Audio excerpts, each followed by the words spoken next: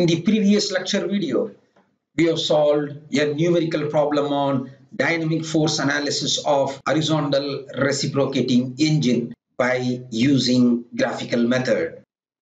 In this video, we are going to solve the same numerical problem by analytical method.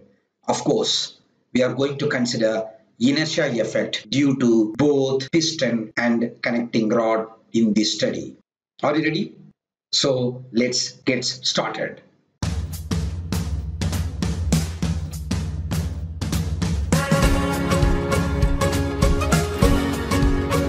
Hi everyone, welcome to my channel. I am Dr. V. Jayakumar. I am making lecture videos for the benefit of mechanical engineering graduates. If this is your first time and not yet subscribed, please hit the subscribe button and also the notification bell icon so that you get notified all my forthcoming videos. Quickly let me present the overview of engine force analysis. This can be studied under two broad topics. One is static force analysis, which were presented in my lectures 2 to 4. Then dynamic force analysis, which can be studied under two broad categories. In the first category, we have ignored weight of the connecting rod and considered only weight of the reciprocating parts. Those studies were presented in our lecture videos 5 to 8. But we need to consider weight of the connecting rod as well. So considering the weight of the connecting rod as well as the weight of the reciprocating parts, the dynamic force analysis problems are solved. They're solved by graphical method, which were presented in our lecture number 12.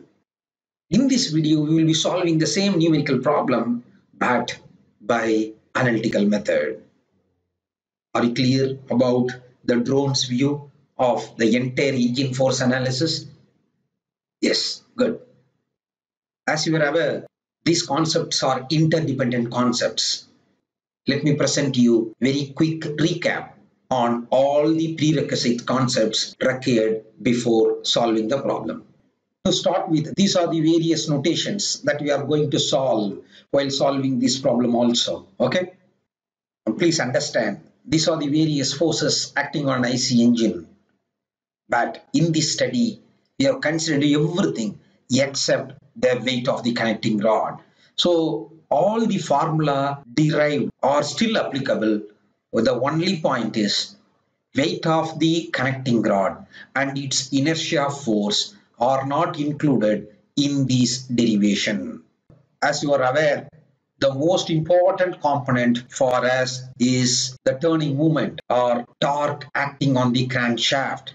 How can I find? This is the formula which we have obtained in our lecture number 6.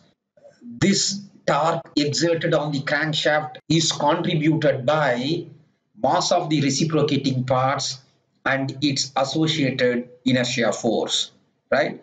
And also the gas pressure, net load acting on the piston is also taken into account. While solving this problem, we need uh, two formula here. One is acceleration of the piston, which I am going to use. And also we are going to consider acceleration of the connecting rod as well. These two formula we are going to use in this problem. Okay.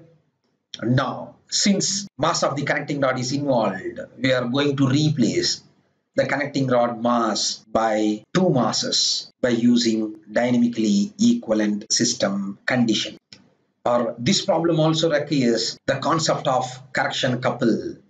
Uh, this formula and the direction, these concepts will be applied while solving this problem. Okay. Shall we see now the analytical method procedure and associated concepts. So in this study, we are going to consider mass of the reciprocating parts and mass of the connecting rod. First, let us replace distributed connecting rod mass by theoretically equivalent two masses M1 and M2 by using the conditions of dynamically equivalent system. Okay, M1 is assumed to be acting at the gudgeon pin, which is nothing but your point P, whereas mass M2 is assumed to be acting at the crank pin, which is nothing but at point C. Is that clear now? So now what is the total mass acting at the piston pin end? Already we have reciprocating mass MR. Additionally, we have portion of the connecting rod mass which is nothing but M1. So MR plus M1. What is the mass acting at the crank pin? M2. So my next step becomes to find M1 and M2. We know the first condition of dynamic equilibrium. What is that? Mass of the connecting rod must be equal to sum of these two masses. So this is the condition number one. The condition number two says the center of gravity of the connecting rod and its equivalent system should remain the same. That means G must remain the same. So how can I check now? Let us find moment about G due to those two masses that must be equal. So M1 into L1 must be equal to M2 into what is the distance? Uh, L minus L1. So this is the condition number two. On simplifications of equation 1 and 2, I can get a equation to find mass M1 and M2. Okay. Now, we'll go to step number 1. What is our aim? Our aim is to find resultant torque exerted on the crankshaft. There are many forces that are contributing to that resultant torque. So first, let us see torque exerted on the crankshaft due to gas pressure and inertia force of the reciprocating parts. How can we find? Already we derived the equation in our previous lecture. What is the formula? This is the formula. Here, how to find FP? we have to find FL minus FI minus FF. Am I right? So here, how to find FI? Fi is equal to M into A. Am I right? Here, what is the mass? Reciprocating parts mass plus portion of the connecting rod mass that is placed at point P, which is nothing but M1. Right? So this is the M. What is the acceleration of the piston formula? So this is my acceleration. First, find Fi, substitute Fi in Fp formula. Once if you know Fp, substitute there, you will get this torque. I call that torque as T1. Okay. If gas pressure is not given, you consider inertia of the reciprocating parts alone by using the given formula. Is that clear? Yes. Let us go to step 2. Since we have portion of the connecting rod mass M2 which is acting at the crank pin C, that M2 acting at crank pin C will contribute to the crankshaft torque which needs to be calculated additionally. I call torque due to weight of the connecting rod M2 at C as T2. How can I find T2? T2 equal to M2G, this is the weight, multiplied by distance. What is the distance? R cos theta. Right. By using this formula, we can find torque T2. What is the direction? It acts counterclockwise direction. Force multiplied by perpendicular distance it creates counterclockwise direction. Okay. You know that. Technically speaking, we should have placed mass M1 at the smaller end and M2 at this end. But for our convenience, we have moved M2 from here to the crankpin end. This resulted into some error so something needs to be compensated to do that. That compensation is nothing but correction couple. So theoretically, there is a correction couple that is acting on the connecting rod. We know that correction couple is equal to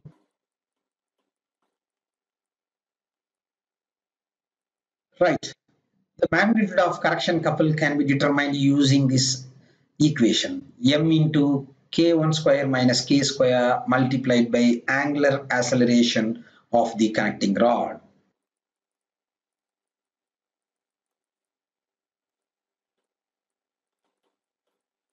We know the formula for angular acceleration of the connecting rod, which is nothing but minus omega square sine theta divided by n. Substituting that, we will be getting formula to determine magnitude of the correction couple. Am I right? So here K1 square is equal to L1 into L3. Then K is radius of gyration of the connecting rod normally will be given in our problem. Okay.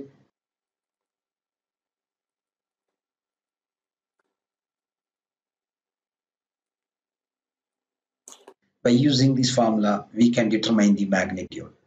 Right, we have determined the correction couple. But what is important is this correction couple will contribute to crankshaft torque. How can we determine that? I'm going to apply some logic here. Do you remember the concept that we have studied in your engineering mechanics? A couple can be represented by two equal and opposite forces which are some distance apart. So in this case, F into D will be equal to C. The same logic I am going to apply here. What I am going to do, already I know now correction couple value. This correction couple value, I want to replace by two forces. One force acting here which I call it as Fy. Another force acting upward which I call it as Fy. These two equal parallel forces acting in the opposite direction forms the couple. That couple value must be equal to correction torque value. Okay, how can I find that uh, force? This is the distance between these two uh, forces. What is the distance? How can I find? This is phi, this is L. What is the formula? L cos phi is the distance. Now what can I do? I know the TC value which is equal to Fy multiplied by this distance. So from this I can find Fy value. Please understand at point P this Fy will be cancelled out by the normal reaction Fn acting on the cylinder walls. So this Fn force will be nullified by Fn. So that means I will be having Fy only. How can I find torque due to Fy? Fy multiplied by the perpendicular distance which is nothing but NO. Am I right? NO is nothing but R cos theta. I can substitute this Fy here. I will be getting this formula.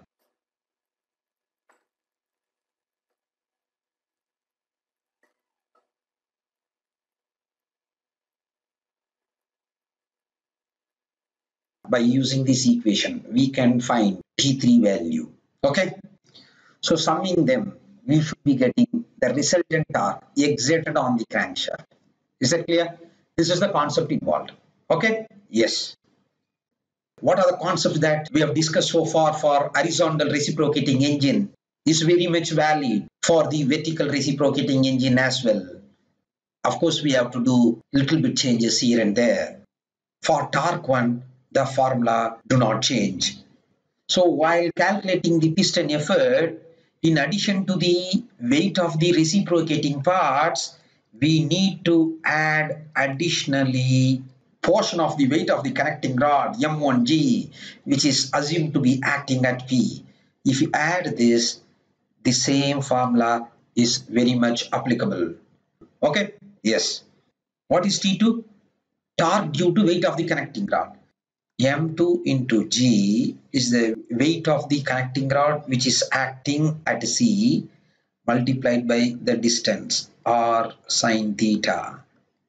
In case of horizontal engine we got R cos theta but here we are getting R sine theta. This is the one small change while calculating the T2.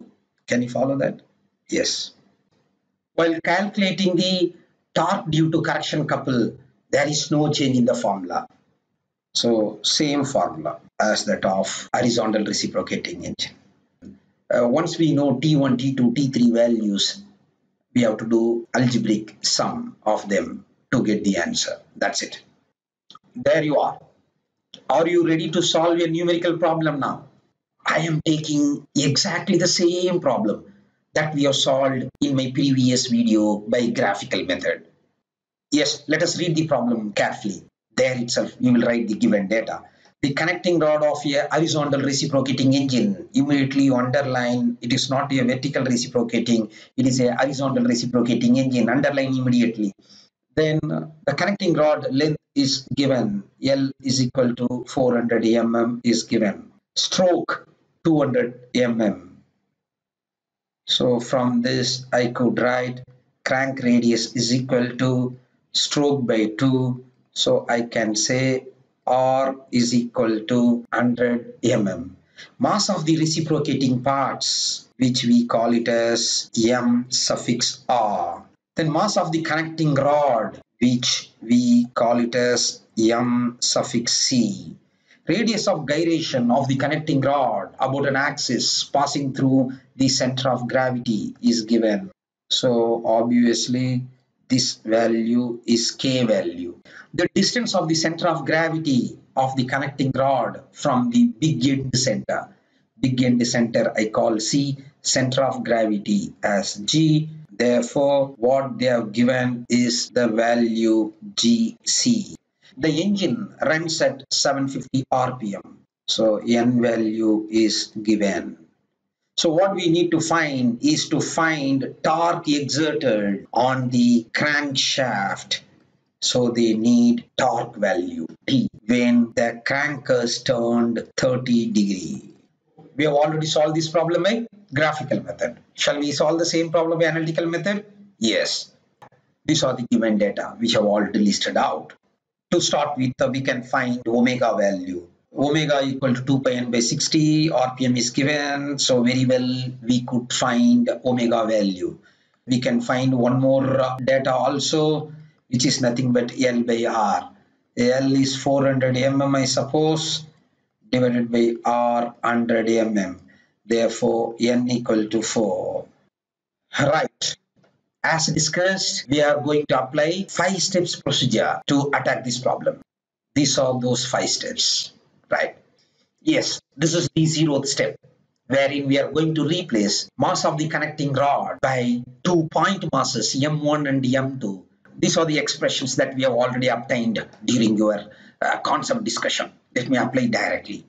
So in this case, what is L? 400 mm, 0.4 meter given. If I know L, if I know GC, I can find L1. L minus GC L is 400 minus GC. It is given in our problem 160 mm. By that we will be getting 240 mm. What is MC? It is given as 100 kg.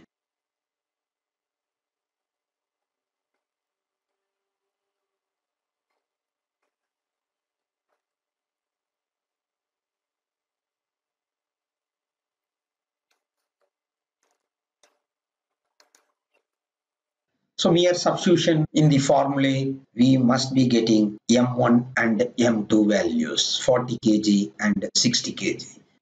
So step number one, we need to determine torque due to gas pressure and inertia force of the reciprocating parts. So by using the expression given, torque 1 equal to piston effort multiplied by sine theta plus sine 2 theta divided 2 into n square minus sine square theta into r.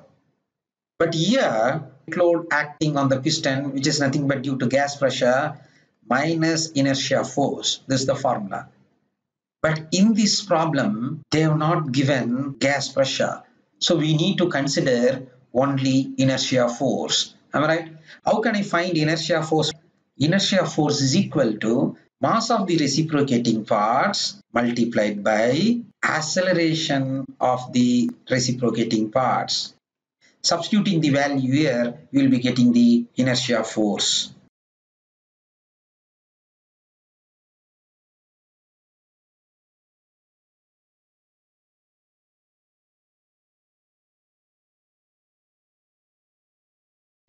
Right, we have got the inertia force. What I want, I want to find T1. So by substituting in this formula, I should get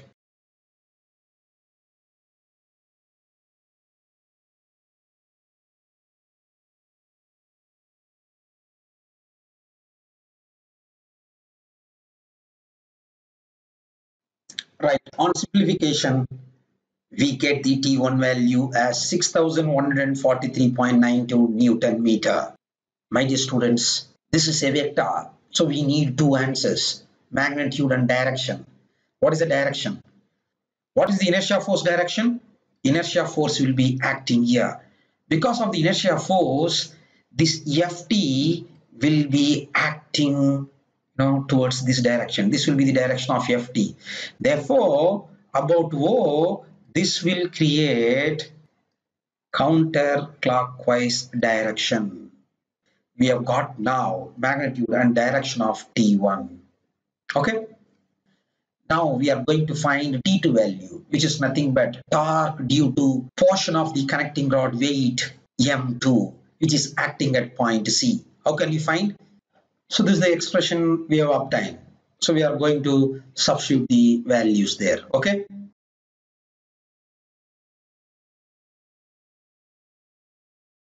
So we have got 50.97 Newton meter as the magnitude of T2. Can you guess what will be the direction? Find moment about O, M2G multiplied by perpendicular distance. So this will create again counterclockwise moment. Now we have got magnitude and the direction of T2. Okay. We are going to find T3 value, which is nothing but torque due to correction couple we have already derived those expressions. Using them, we can determine it. Right. Using the first formula, we can find value of the correction couple. The next formula, we can find torque due to correction couple. Here, I know M, I know K, omega all, only K1 square not known. How can I find K1 square? We know that k1 square is equal to L1 into L3. L 400, L1 240, L3 160 mm. It's all given. Okay. So using that, I can find right. I can substitute now here.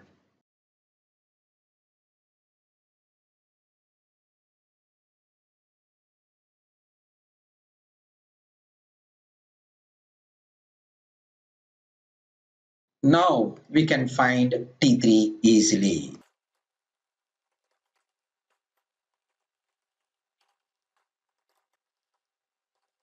On simplification, we must be getting the answer. There is a minus symbol here.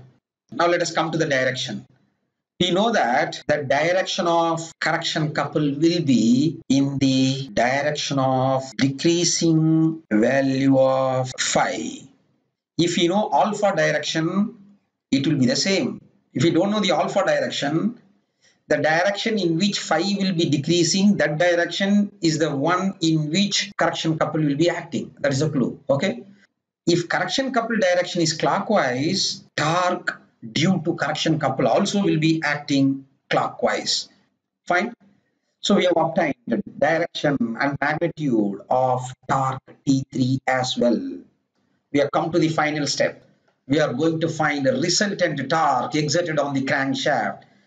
We know that the resultant torque is the algebraic sum of torque 1, 2 and 3. As we have seen, torque 1 and 2 are acting in the counterclockwise direction whereas torque 3 is acting in the clockwise direction. So assuming counterclockwise direction as positive, I could write T1 plus T2 then T3 is negative because it is acting in clockwise direction. Is it clear? So now let me substitute all the obtained values in the previous steps. We must be getting the answer.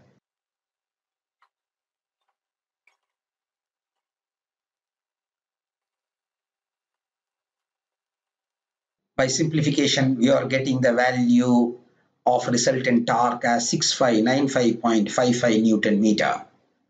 We must be giving the direction. What should be the direction? Since we have assumed a counterclockwise positive, we have got a positive value. Therefore, direction of t will be counterclockwise. So we have got the magnitude and direction of the resultant. That's it. We have completed the numerical problem. Okay. Right. Shall we compare the results that we have obtained by analytical method uh, with the of the graphical method? Do you remember? We have solved the same numerical problem by graphical method which was presented in our previous lecture. Yes, this is the answer that we have obtained for the same problem by graphical method. We have got the answer as 6652.37 Newton meter. What is that answer we have obtained now? As you could see that there is a difference in the values that we have obtained from graphical and analytical methods. Can you guess the reason? Yes, graphical method we have used Klein's construction. So there will be some human practical error involved. Also, in the analytical method, in some derivations, we have done some approximate expressions. For example, alpha c, we have used approximated expressions. So due to these reasons, there would be small deviations in the numerical values. Is that clear now? Yes. So you can practice this problem at your home and check your answer. So try this problem by analytical method. Okay. I hope this video helps you in understanding this difficult but interesting topic. If so, like this video, share it to your friends and subscribe the channel. That's it. Thanks for watching. Let me see you with some other interesting topics. Take care. Bye.